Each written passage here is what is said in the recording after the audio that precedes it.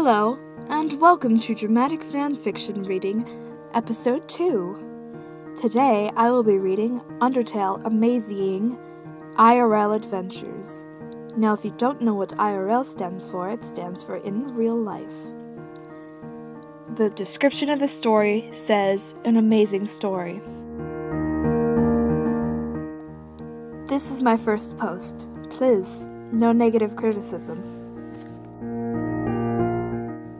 I was playing Undertale like normal. When I got to Lesser Dog, I realized that if I kept petting him, his neck would get longer and longer. I kept petting him for an hour because I really like dogs. Then his head popped through the screen.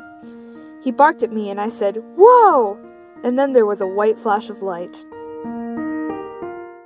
Suddenly, when I opened my eyes, all of the characters from Undertale were in my room. Sans tells me a funny skeleton joke. Knock knock, he said. Who's there? I said.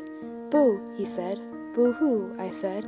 Oh, sorry, I didn't mean to make you cry, he said. Then we all laughed. Then Papyrus was like, Wow, Damien, you have a race car bed just like me. You're so cool. Then we all became best friends. To celebrate our new friendship, Toriel decided to bake us some pies, and Asgore himself bowed down to me and said I should be his child, and I said yes because I'm fine with leaving my dad after he didn't buy me that Minecraft sword I saw at Target.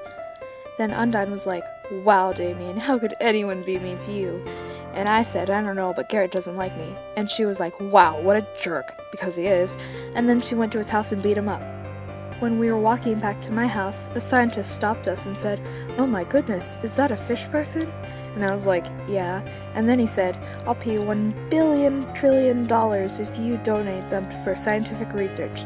But I didn't, because I'm a good friend, and Undyne beat him up and stole his money so I could become rich and famous. Now everyone at school likes me. The end.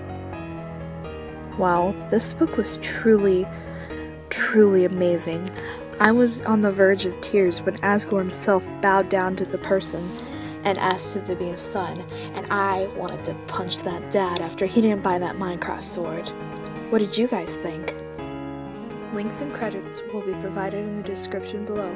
Please like and subscribe for more content. Thank you.